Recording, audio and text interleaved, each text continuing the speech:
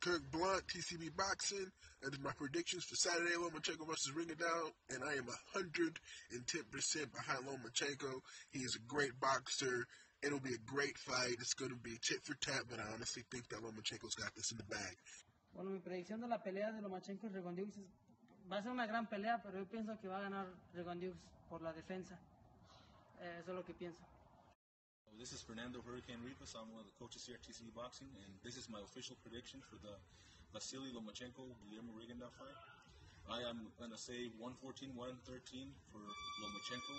I believe the deciding factor is going to be a late knockdown. As we all seen before, Rigondeaux has been known to be dropped, and usually he gets caught off balance. Uh, I believe it will happen in the later rounds, but uh, it will be a highly competitive fight. It will be a high-speed chess match, and I believe a knockdown might be the, the deciding factor in saying Lomachenko by a point.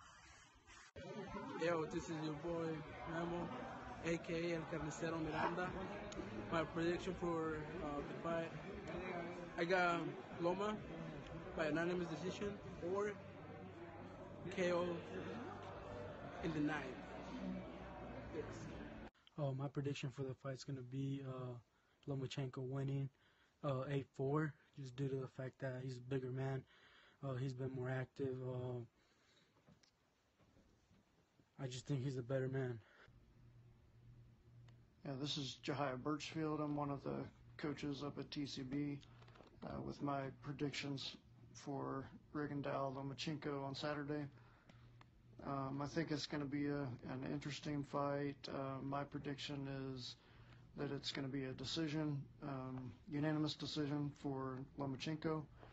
Uh, the stuff that I'm interested in seeing what happens is um, since they're both southpaws, I want to see how that dynamic works out, um, especially since so much cool stuff happens with Lomachenko when he turns the corner on uh, right-handed fighters. I want to see how he deals with that uh, against Rigo. Um, another thing is that he does so much cool head movement, slipping and and,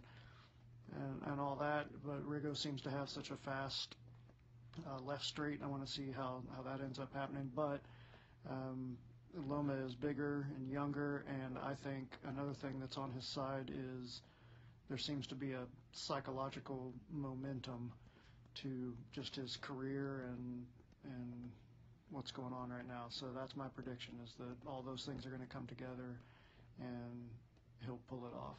So let's see what happens on Saturday.